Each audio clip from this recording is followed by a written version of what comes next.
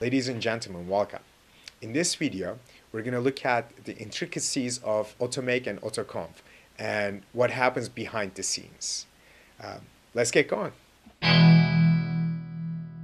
The main idea of a build system is to build things in order from code to binary using a script.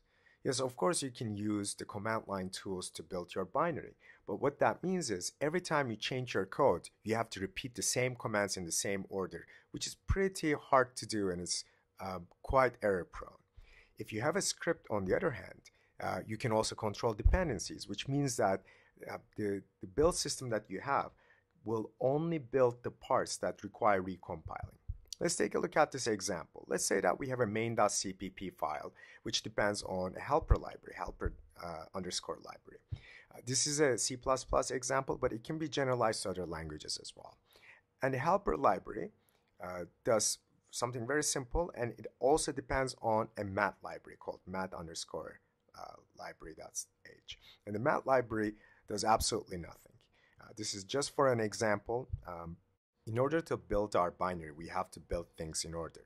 First, we built the math library, and the output is libmat.so. It's the naming convention for a shared library in Linux. Then we built the helper library, libhelper.so, using libmat.so and helper libraries code. Finally, we built our main executable using libhelper.so and the main uh, CPP. If you want to use the command line tools to build this binary, these are the commands that we have to type in, and we have to do them one by one, and we have to do them in the same order. Or we could just use the make file, the make build system. Then we have this nice tidy file with rules, and all we have to do is type make main, and we have our binary.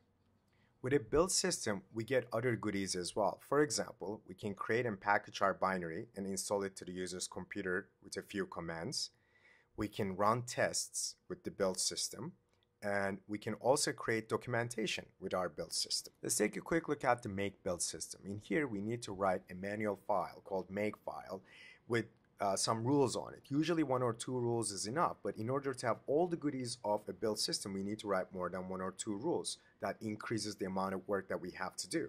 We also need to modify rules and variables for each platform that we're going to run our build system in. A C++ um, compiler is different on one computer than the other one.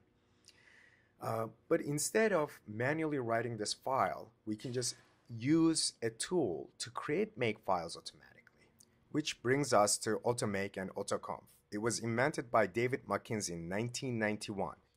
Mackenzie was just tired of modifying his make files for each platform that he was compiling his code for.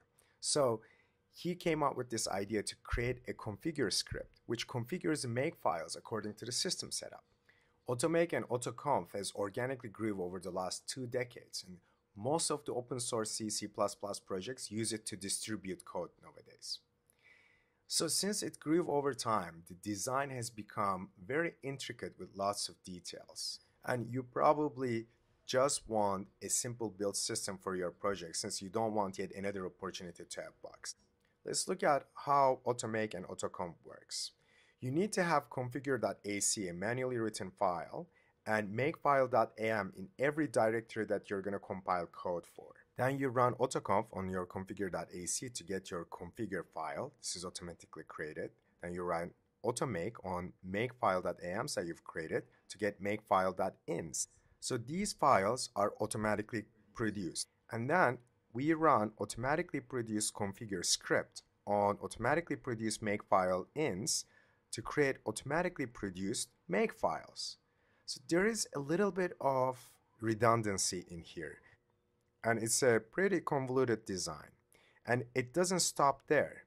The automake file also reads to configure.ac, so there's no modularity. And also configure.ac has to know about all the makefile AMs that you've created. And not only that, you need to also run another script called aclocal to get some scripts for configure.ac. You have to run automake actually with a flag to create another file to compute dependencies. And then there's this other file you can write manually, config.h.in, which you can feed into configure, which will produce config.h, which can tell your code about the configuration of the build system. While this is quite complicated, good luck.